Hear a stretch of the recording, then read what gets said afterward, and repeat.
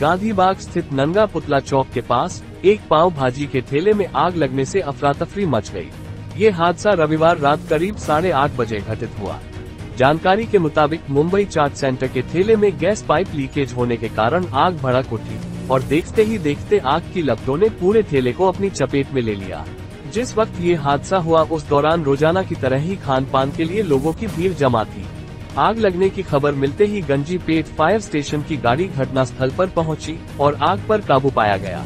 फ़िलहाल इस घटना में किसी तरह की कोई जनहानि नहीं हुई है।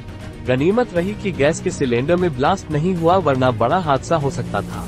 इसी इलाके में कपड़े के बड़े शोरूम और गोदाम भी हैं और अगर आग भड़क जाती तो हालात संभालना मुश्किल हो जाता।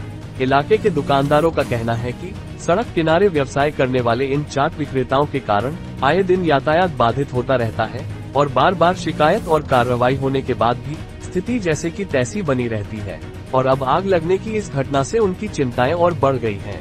इलाके के नागरिकों और दुकानदारों ने इस संबंध में मनपा प्रशासन से उचित कार्यवाही करने की गुहार भी लगाई है, ताकि भविष्य में इस तरह के हादसों को रोका जा सके